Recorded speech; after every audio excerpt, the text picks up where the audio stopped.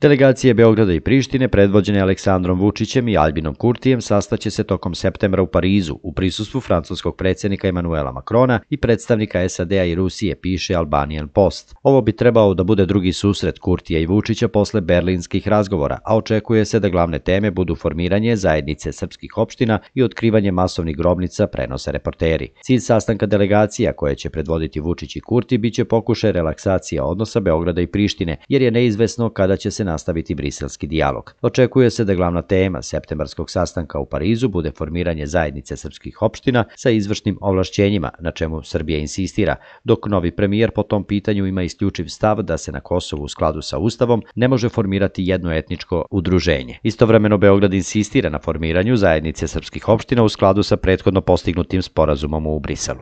Pored toga, očekuje se da na sastanku bude reči i o masovnim groblicama Albanaca na teritoriji Srbije, na čijem otkrivanju insistira Priština. Iz izvora bliskih administracije Evropske unije navodi se da je moguć susret Vučića i Kurtija u Briselu pre sastanka dve delegacije u Parizu. Takvu mogućnost najavio je i specijalni predstavnik Evropske unije za dijalog Beograda i Prištine Miroslav Lajčak tokom nedavne posete Prištini i Beogradu. Ukoliko dođe do razgovora srpskog predsjednika i kosovskog premijera na jesen u Parizu, biće to njihov drugi zvanični susret posle Berlina, kada je Albin Kurti prekršio pravilo da detalje ne iznosi u javnost, pošto je prištinska delegacija javno objavila njegovo obraćanje.